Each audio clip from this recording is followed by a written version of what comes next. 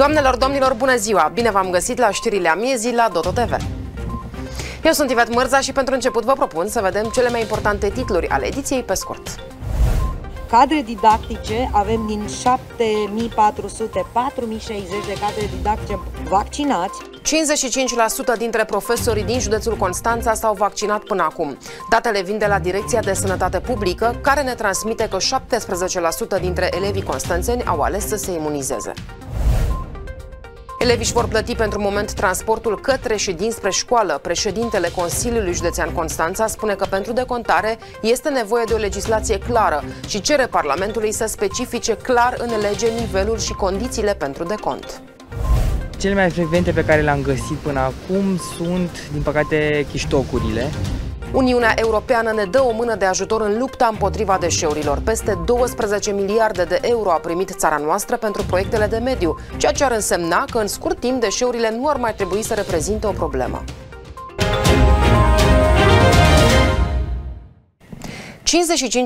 55% dintre profesorii din județul Constanța s-au vaccinat până acum. Datele vin de la Direcția de Sănătate Publică, care ne transmite că 17% dintre elevii constanțeni au ales să se imunizeze. Specialiștii au însă și vești bune. De când a crescut numărul infectărilor cu noul coronavirus, tot mai mulți constanțeni au ales să se vaccineze, fie cu prima sau chiar cu a treia doză. Cadre didactice avem din 7400, 4060 de cadre didactice, aproximativ 55,2% vaccinați, personal auxiliar din 2500 avem 1370, tot 55% vaccinați și elevi avem aproximativ 17% vaccinați. Că este foarte important ca fiecare părinte să aloce 5 minute când își duce copilul la școală să-i spună, chiar dacă este un lucru repetitiv, da, în fiecare zi, să-i aducă aminte de normele de igienă pe care trebuie să le respecte. Vă spun, așa și cred în lucrul acesta, atâta timp cât vom respecta ceea ce uh, avem, cum să spun, vaccinarea, da, uh, la îndemână și normele minime de igienă, cu păstrarea distanțării, cu uh, uh, folosirea măștii și cu igienizarea, vom fi protejați. Specialiștii au vești bune. Numărul constanțenilor care se prezintă în centrele de vaccinare este în creștere față de săptămânile trecute. Pot să vă spun că ieri s-au vaccinat 2655 de oameni. Din acești 2655 am avut 1069 de persoane cu doza a treia. Dar ce este mai îmbucurător? Că am avut 1300 de oameni cu, doza, cu prima doză. Deci să observăm o creștere și un interes al uh, populației pentru a se vaccina cu prima doză. Prefectul județului Constanța spune că în câteva zile și județul nostru va atinge pragul de 6 infectări la mii de locuitori. Statistic vorbind, uh, facem un 1 la mie în 4-5 zile. Cam acesta, a fost, cam acesta a fost ritmul și în valurile 2 și 3.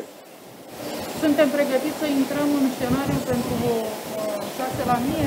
Este pregătit Constanța, am, Cred că am spus-o de fiecare dată. Din punct de vedere administrativ, din, din fericire suntem pregătiți. Nu știu că suntem pregătiți fiecare dintre noi, având în vedere că putem să evităm acest uh, scenariu printr-o modalitate foarte simplă. Eu am adoptat-o, știu că și unii dintre dumneavoastră au adoptat-o, vaccinare. În acest moment sunt 399 de persoane internate la nivelul județului Constanța, 1865 de persoane sunt în carantină la domiciliu și peste 2200 izolate la domiciliu. Crește alarmant numărul cazurilor de COVID-19 în școlile din județul Constanța. Până astăzi au fost diagnosticați 265 de elevi și 82 de profesori și personal nedidactic. Explozia cazurilor de COVID-19 a dus la mutarea cursurilor din clase în sistem online. 4366 de elevi din 188 de clase se văd deja cu profesorii lor doar din fața ecranelor, laptopurilor, tabletelor și telefoanelor mobile. Vă reamintesc că în urmă cu doar 4 zile în tot județul județul Constanța erau confirmați cu SARS-CoV-2 numai 23 de elevi și 5 profesori, ceea ce a dus automat la trecerea în online a 24 de clase, comparativ cu 188 câte sunt în prezent. Elevii își vor plăti pentru moment transportul către și dinspre școală. Președintele Consiliului Județean Constanța, Mihai Lupu, spune că pentru decontare este nevoie de o legislație clară și cere Parlamentului să specifice clar în lege nivelul și condițiile pentru decont. Șeful județului este de părere că cel mai bine pentru elevi ar fi ca decontarea să fie în sarcina inspectoratului școlar, care poate verifica dacă elevul a ajuns sau nu la școală. Elevii, de cealaltă parte, cer soluționarea urgentă a problemei și acuză că li se refuză dreptul la a participa la ședințele unde se dezbate acest subiect. Președintele Consiliului Județean Constanța Mihai Lupu a cerut Senatului și Camerei Deputaților să modifice legea privind decontarea transportului elevilor și să specifice clar sursele de finanțare, până la ce nivel, cât timp și câte drumuri li se decontează elevilor care fac naveta spre școală. Cel mai bine pentru elevi, mai spune Mihai Lupu, ar fi ca decontarea să fie făcută de ISJ Constanța, care poate verifica dacă elevul participă la cursuri. Până la lămurirea situației, elevii vor continua însă să-și plătească singur transportul. Care este perioada de contare? Eu văd că aceste decontări trebuie să încurajeze ca acești copii, elevi să meargă la școală. Adică nu poți să dai gratuitate pentru că un elev merge, nu știe dacă ajunge sau nu ajunge la școală. Cine verifică? Cine? De aia, pe undeva, eu cred că a fost foarte, foarte bine gândit ca aceste decontări să facă pe inspectoratele școlare. Pentru că în felul ăsta, dacă nu ajungi la școală, n-ai cum să decontezi. Există și un control. Ori rolul nostru a tuturor este să dăm bani ca acești copii să meargă la școală. Asociația elevilor din Constanța solicită vehement ca elevii să beneficieze de transport gratuit și subliniază că au și o decizie judecătorească, ce obligă Consiliul Județean să acorde acest drept tuturor elevilor din județ. Președintele Asociației Elevilor, Adriana Dudună, acuză nu doar că CJC refuză să respecte legea, ci și că a fost bruscată ieri de paznicul instituției în timp ce încerca să intre în sala de ședință, unde a fost tranșată soarta de contării transportului elevilor. La ședința de Consiliu Județean. E ședință publică. Este ședință publică.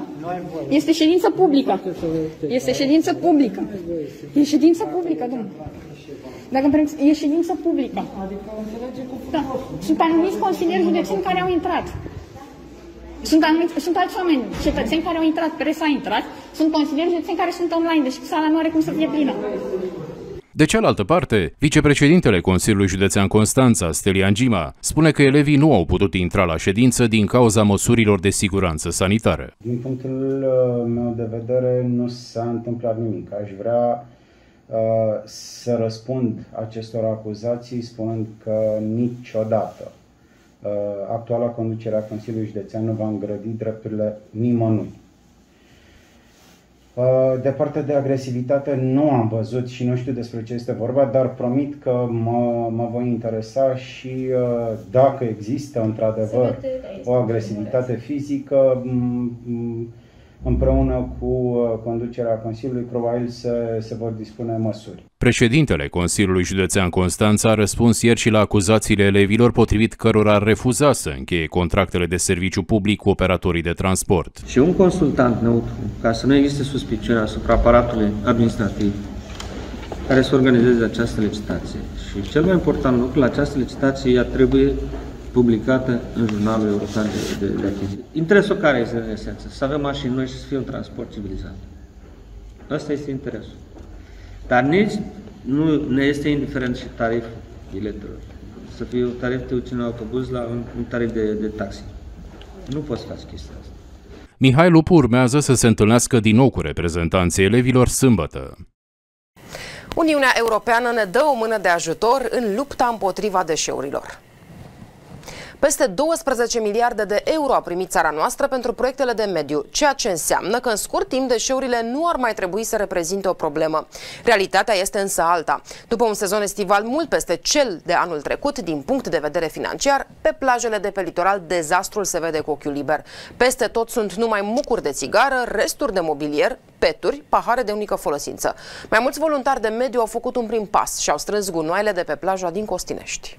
1. Să numărați câte deșeuri ați strâns, pentru că noi monitorizarea pe care o facem conform metodologiei europene peste 40 de tineri au împânzit ieri plaja de la Costinești, cel mai fierbinte punct de distracție în acest sezon estival. Din păcate, miile de tineri care s-au distrat de la răsărit la apus au lăsat în urma lor și tone de gunoaie, seară de seară, ambalaje din plastic, resturi de mâncare, sticle goale, mucuri de țigară și uneori și haine abandonate de turiști formau un covor gros care acoperea nisipul. Și chiar dacă erau strânse de operatori, a doua zi situația era aceeași. Din păcate însă nici acum situația nu s-a schimbat. Cele mai frecvente pe care le-am găsit până acum sunt, din păcate, chiștocurile. Uh, și cred că asta arată că mai avem probabil cu toții de învățat, pentru că cu toții iubim marea, dar cu toții trebuie să ne gândim că nu avem 10 mări și avem și o singură planetă. Cel mai des aruncat la întâmplare pe plajă rămâne plasticul. Pahare de unică folosință, bețișoare de cafea, paie sau peturi sunt și astăzi la tot pasul pe nisip. Ca la fiecare sfârșit de sezon estival, plină de gunoaie, neîntreținută, periculoasă pentru copii, pentru noi, localnicii, pentru animăluțe, pentru tot. Uh, noi facem aceste igienizări în fiecare an, de două ori pe an. Anul acesta am început să facem chiar de trei ori pe an, pentru a vedea diferența, în primul rând, între, sezonul, între începerea sezonului estival și finalul acestuia. De regulă, întotdeauna în partea de primăvară este mai curat, venind după sezonul de iarnă și igienizarea pe care noi o facem în uh, toamnă, iar după sezonul estival, cantitatea de deșeuri este mai ridicată. Salvarea ar putea veni de la Comisia Europeană care a dat undă verde PNR-ului depus de România. Prin Planul Național de Redresare și Reziliență, România primește 12 miliarde de euro numai pentru implementarea proiectelor de mediu. Dintre acestea, 1,2 miliarde vor putea fi cheltuite doar pentru proiectele ce vizează deșeurile. Bani sunt, spune și reprezentanta Comisiei Europene la București, însă avem nevoie și de educație. Soluția noastră pentru viitor, soluția europeană pentru viitor, se numește Pactul Verde.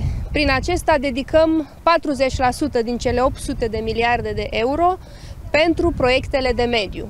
România are 12 miliarde de euro pentru proiecte de mediu, Anual, voluntarii de mediu organizează acțiuni de monitorizare a deșeurilor de pe litoralul românesc, atât la început cât și la sfârșitul sezonului estival. În urma monitorizării porțiunilor de plajă, din luna aprilie au fost inventariate 5506 deșeuri pe 10 porțiuni de plajă, printre care se numără și două sectoare aflate în zona protejată Grindul Chituc, Vadu și Edighiol. Cel mai murdar sector a fost Năvodar cu 1397 de deșeuri, urmat de Mamaia Nord cu 1125 de deșeuri. Surprinzător în zona protejată Grindul Grindul Chituc au fost inventariate 326 de deșeuri, cel mai probabil aduse de valuri și curenți la țărm. Lucrurile sunt cu atât mai dramatice cu cât în aceste zone deșeurile nu ar trebui să existe, tocmai pentru că sunt zone protejate. La polul opus, cea mai curată porțiune de plajă este Tuzla, unde au fost găsite doar 78 de deșeuri. 4229 din cele 5506 deșeuri strânse sunt din plastic. Pe locul 2 se află deșeurile din metal, în număr de 399. Spre deosebire de alți ani, cele mai puține deșeuri deșeuri fac parte din categoria cauciucului și hârtiei. Intersecția Bulevardului Mamaia cu strada Zorelelor va fi reconfigurată. Pe strada Zorelelor vor fi amenajate două benzi de ieșire în Bulevardul Mamaia și două benzi de intrare din Bulevardul Mamaia. Totodată se va interzice virajul la stânga de pe strada Zorelelor pe Bulevardul Mamaia. Măsura a fost luată pentru fluidizarea traficului rutier în urma dezbaterii acestui subiect în Comisia de Circulație a Municipalității. Ca rute alternative, administrația locală recomandă deplasarea dinspre strada Zorelelor înainte pe strada Soveja și întoarcere în giratoriul cu strada Chiliei, apoi virare dreapta pe Bulevardul Mamaia sau deplasare dinspre strada Zorelelor pe strada Soveja și întoarcere în giratoriu, apoi virare dreapta spre strada Chiliei, cu alegerea rutei stânga către Bulevardul Mamaia sau înainte către strada Ion Rațiu. A început goana după locurile în căminele studențești de la malul mării. Anul universitar începe luni, iar mare parte dintre studenții Universității Ovidius au ajuns deja să își ia în primire camerele în care vor locui în următorii ani. Universitatea pune la dispoziție 1035 de locuri în cămine unde vor trebui respectate reguli stricte impuse de pandemie. Zeci de studenți străini au ajuns astăzi la căminul Universității Ovidius de la intrarea în stațiunea Mamaia. Majoritatea dintre ei au venit să studieze la malul mării datorită programului european Erasmus. Acesta este biroul meu unde învăț. Uh, cărțile, culorile sunt foarte importante pentru noi. Foarte multe culori, ce faci cu ele? Am memorie vizuală, mă ajută foarte mult culorile. Am un cod de culori, fiecare cuvânt are culoarea lui. Și te ajută să vezi mai ușor? Da, da, da. La examen am pagina în minte colorată. Agitație mare a fost nu numai la recepția căminului, ci și la etaje. Studenții au început deja să-și amenajeze camerele în care vor locui în următorii ani. Uh, cum se vede, ne-am, uh, de luni ne-am apucat să ne aranjăm lucrurile, să ne punem bagajele pe sus, să ne băgăm hainele pe peste tot, Adidas și un alta. E un pic nebunie că nu avem chiar atât spațiu cum ne-am dorit, sunt totuși niște dulăpioare mici, unul pentru fiecare om, dar e bine. Sincer, m-am reîntors cu super mult drag, îmi place foarte mult să stau aici. M-am reinstalat acum două zile, uh, luni, luni au fost ziua de contracte și uh, sunt super bucuros că m-am reîntors. Conform regulilor impuse de pandemie, într-o cameră de cămin vor fi primiți maximum 3 studenți care au obligația să mențină spațiile de cazare curate și igienizate. Uh, m-am instalat de două zile anul acesta, dar eu sunt anul șase la facultate și este al șaselea an în care eu stau la cămin. Uh, viața la cămin este foarte frumoasă pentru că mereu am avut colegi de cameră care am putut să învăț, colegi de facultate pe care îi găsesc la alte etaje. Când aveam nevoie de un curs sau de altceva pentru facultate, ne ajutam între noi. Eu, fiind de 5 ani aici, deja sunt obișnuită, știam unde mă întorc, știam uh, căminul, deci pentru mine nu e așa o noutate. 1035 de locuri în patru cămine pune la dispoziție Universitatea Ovidius din Constanța, iar conducerea universității spune că a reușit astfel să răspundă tuturor cererilor de cazare venite din partea studenților. Am instituit criterii foarte clare, bazate pe performanță, așa cum s-a asigurat locurile de către Ministerul Educației. Primul criteriu este a fi fără taxă. Al doilea criteriu este să fii an cât mai mare și să ai număr puncte credit. Deci performanță. Noi reușim până la final să cazăm aproape toți studenții în cele patru cămine pe care le punem la dispoziție. Universitatea Ovidius construiește încă un cămin studențesc. Acesta numără 83 de camere cu două paturi și una single. Clădirea va fi ridicată în cartierul Faleză Nord și va avea șase niveluri. Noua investiție are o valoare de 4,5 milioane de euro, din care 3 milioane de euro contribuția CNI, iar 330 de mii de euro a universității.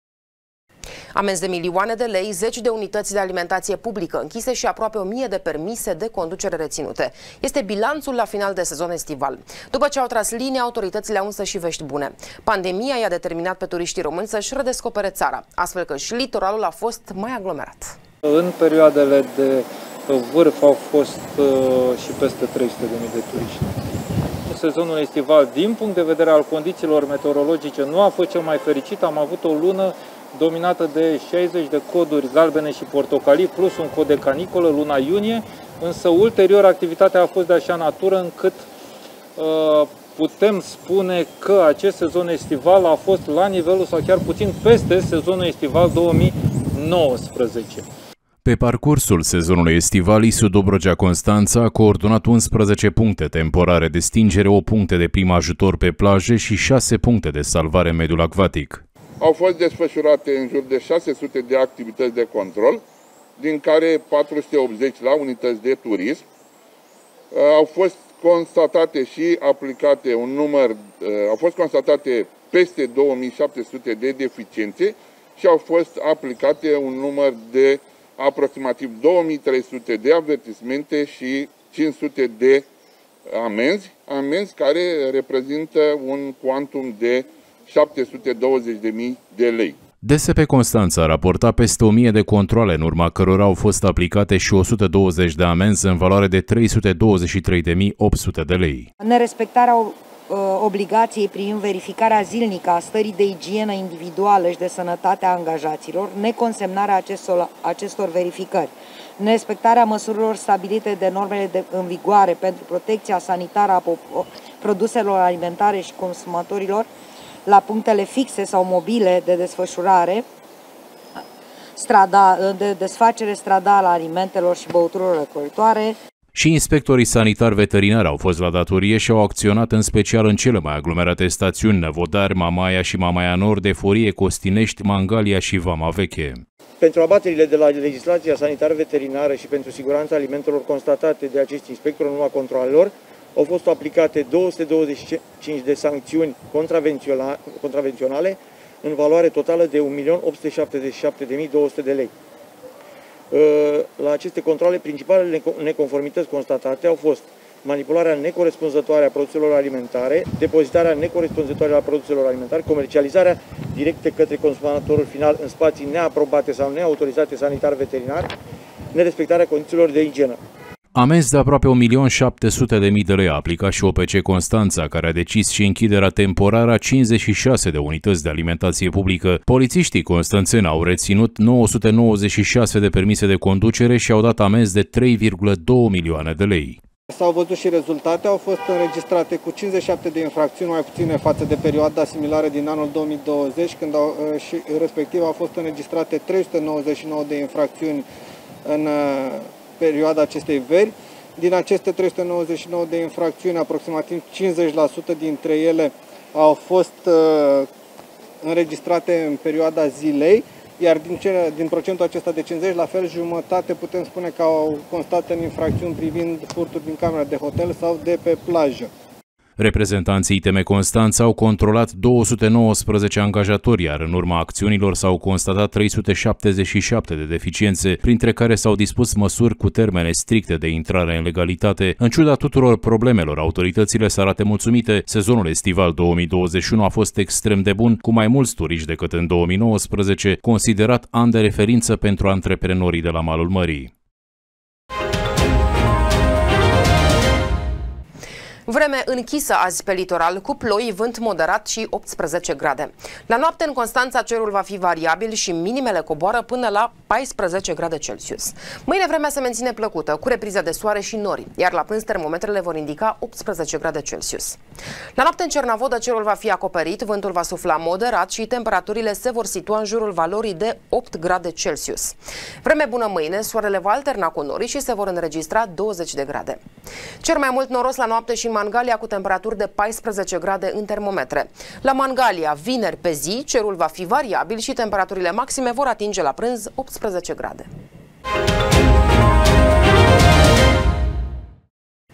La duelul săptămânii organizat de FC Farul participă astăzi Virgil Ghiță și Carlo Casap. Cei doi au arătat fanilor cât de bine se cunosc și ce amănunte știu unul despre celălalt. Virgil, când a venit Carlo la Academia Hagi? În 2014. Răspuns greșit. Răspuns corect în 2012. Carlo, în ce meci a debutat Virgil pentru Naționala de Seniori a României? Cu Liechtenstein. Astea sunt întrebări recente. Ușor. Răspuns corect. Virgil, câte trofee a cucerit Carlo în carieră la seniori? 3. Răspuns corect. Campion al României în 2017, Cupa Supercupa României în 2019.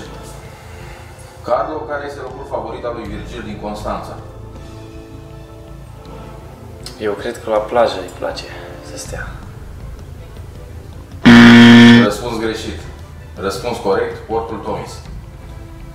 Aia mi-a fost în port. Știrile amiezii la Toto TV au ajuns la final. Dacă aveți informații care pot deveni o știre, ne puteți contacta la adresa redacția rondototv.ro, pe pagina noastră de Facebook la Doto TV, dar și pe Instagram. Și nu uitați, pentru informații actualizate, intrați pe site-ul nostru www.dototv.ro Eu sunt Ivet Mârza, vă mulțumesc pentru atenție, să aveți o zi frumoasă!